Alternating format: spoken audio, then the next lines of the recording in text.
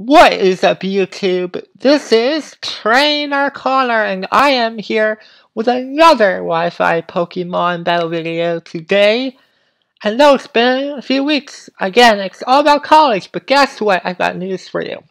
I am officially done with my first year of college. I'm still around my campus and everything, but since there are no classes available, I'll have activities doing, like, I'll be doing all the activities, like, doing this, doing that, but in the free time that I have, I will be posting more videos. And I have a video here for you today, so definitely hit that like button and subscribe.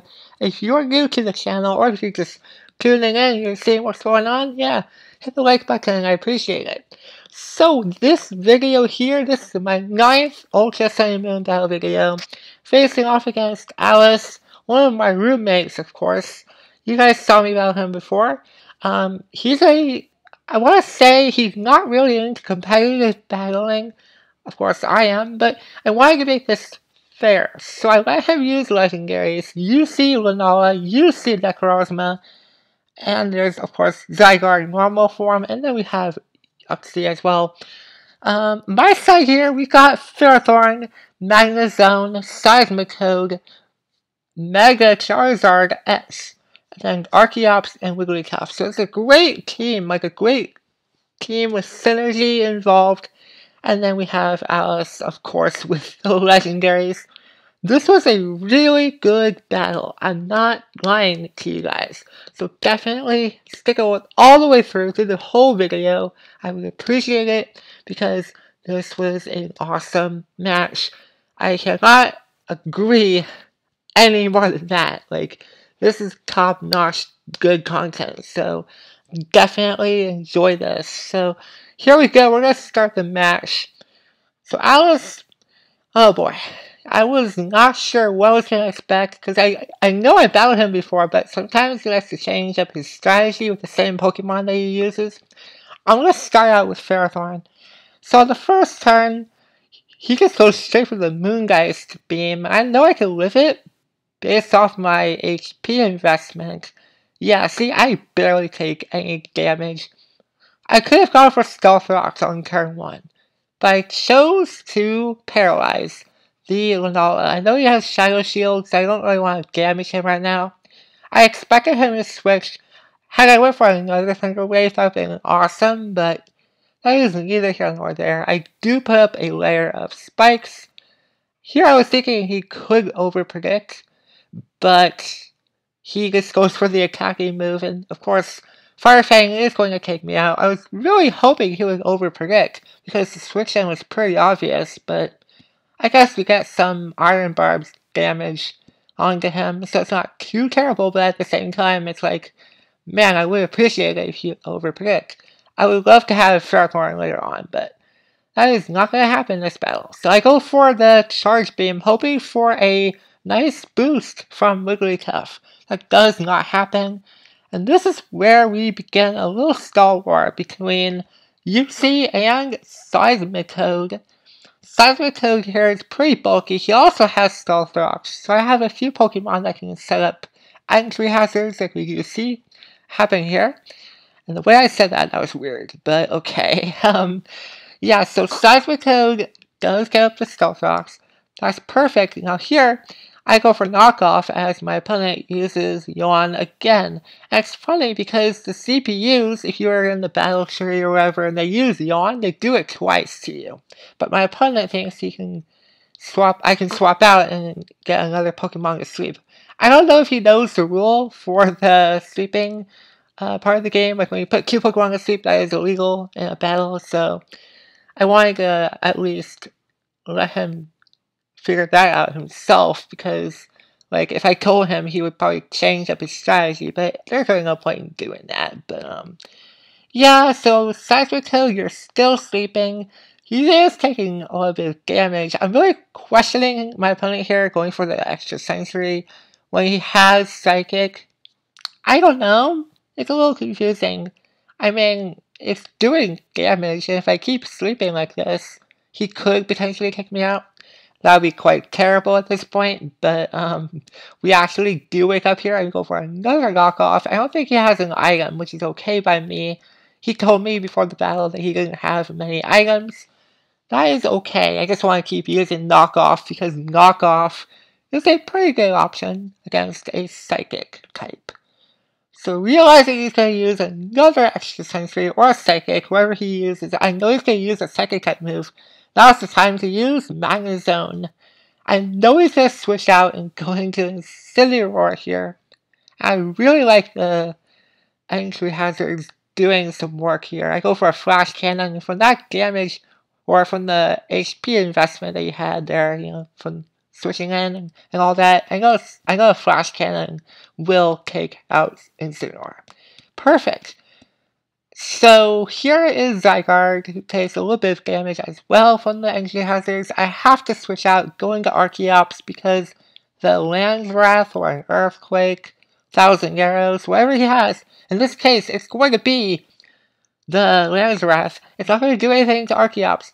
And this particular Archeops is a little bit different from like the usual set that you uh, see in previous generations.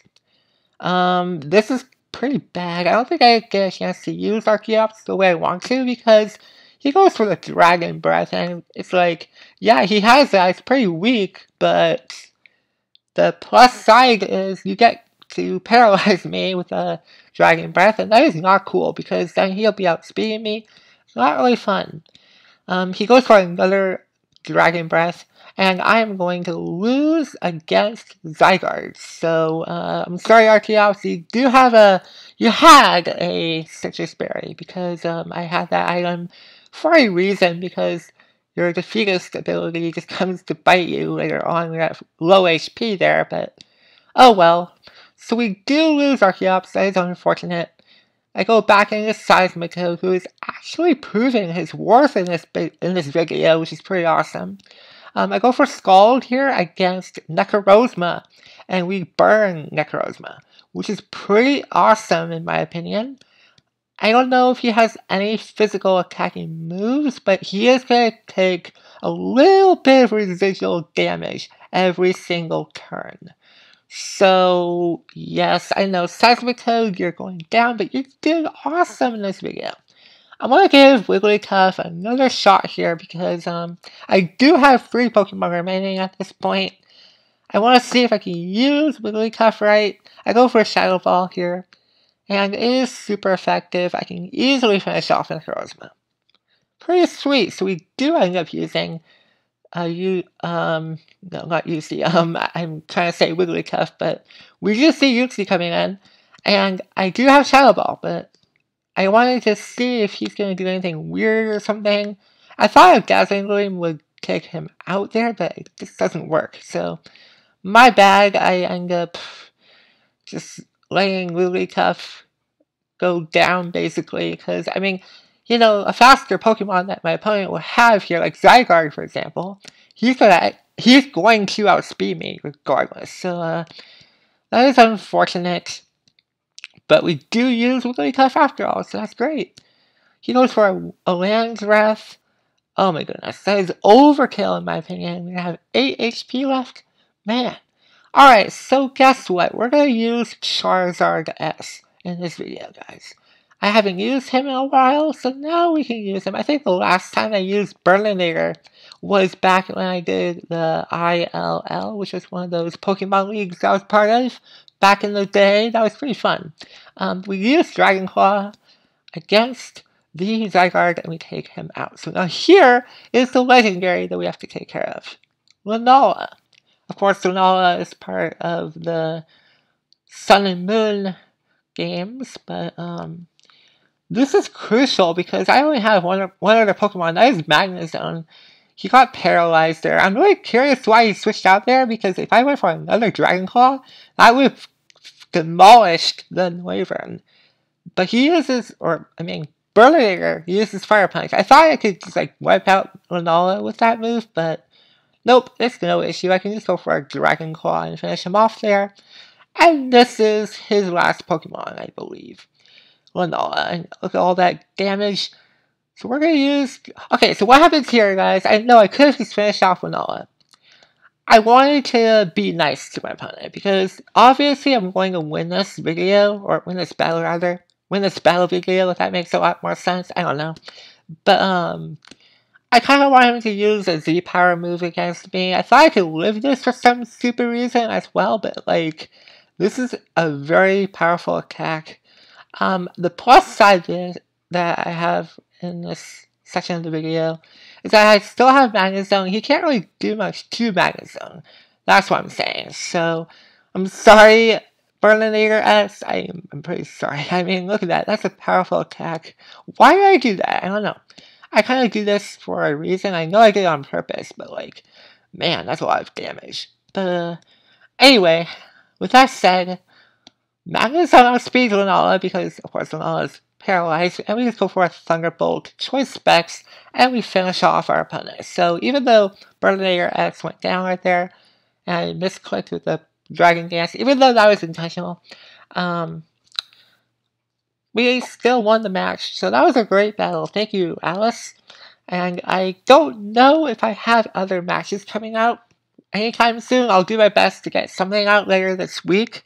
Um, if not, then just stay tuned and watch some older videos if you want to or whatever. Um, I'll do my best to get something out for you guys. Alright, you guys have a wonderful day, a wonderful week ahead. I'll see you next time. Alright, goodbye, guys.